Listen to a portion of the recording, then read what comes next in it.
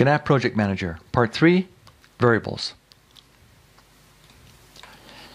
Variables in a project file are referred to as scenario variables because they allow us to change the mode or behavior of a project to accommodate a given scenario. This is how a scenario variable and its values are displayed in GPS, the GNAT Programming Studio.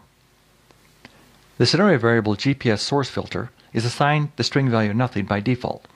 This has the effect of loading no sources, so that GPS starts quickly. After that, the user is expected to select a module or component from the drop-down list in order to load the associated sources. Since GPS is not the only tool that can accept a project file as an input parameter, a mechanism is needed to override the default specified in the project file. The GNAT environment provides two possibilities.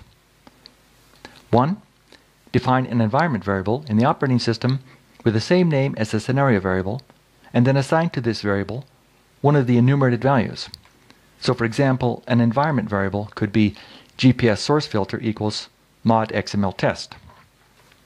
The second possibility requires the use of the X switch on the command line where X stands for external variable. For example, minus x GPS source filter equals mod XML test. Note that a value passed with this switch takes precedence over a value of the same name in the environment. A key benefit of scenario variables is that they allow us to avoid a proliferation of project files. For example, Subsystem X release is a single project file serving the configuration requirements of several different parts. For the sake of simplicity, I have only specified one scenario variable, namely GPS source filter. But I could have created another one called build to accept two values, development and production, where development enables assertions and causes debug information to appear in object files, whereas production is optimized for speed. One of the possible combinations would therefore be a scenario for building all library components associated with the XML module by selecting GPS source filter equals mod XML lib and build equals production followed by a click on the Build All button. With subsystem selected, we gain visibility to every unit in the subsystem. This view is useful for browsing the codebase, executing compile all sources, or build all or run all tests, especially after making several changes to components in different modules.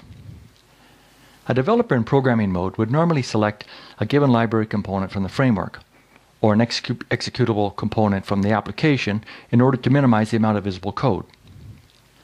For large projects, it is not efficient nor desirable to load all units in the system into GPS at the same time, and therefore this is simply not done. The highest level of complexity one should ever need to deal with at any given time is a subsystem. To see the complete list of source filters, you can open a window in GPS by right-clicking on the variable name in the Scenario panel and selecting Edit Properties of from the context menu.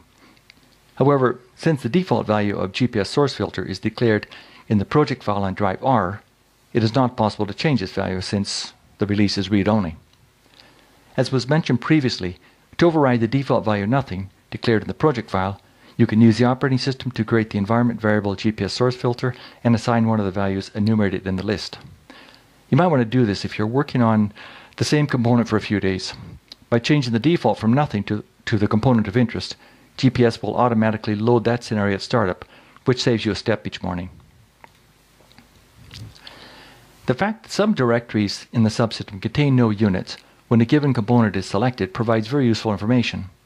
For example, if DOM or schema directory is not empty, when SAX test component is loaded, we would immediately be alerted to the fact that something is wrong. Since from the architecture, we know that the SAX layer does not have visibility to DOM or schema layers. In other words, SAX test should never access resources in DOM or schema. We can see here at a glance that the architecture has not been compromised by a careless programmer, since indeed no units in DOM or schema are accessed from the SAX layer.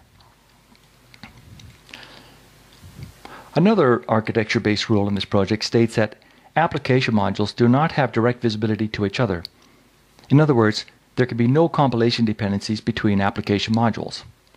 For example, if a developer tried to hack a solution by making a connection from Module A, Component 2, to Module B, Component 3, then this violation would become visible to everyone after the change is checked in and resolved into the release branch on the version control system. This is the end of part 3.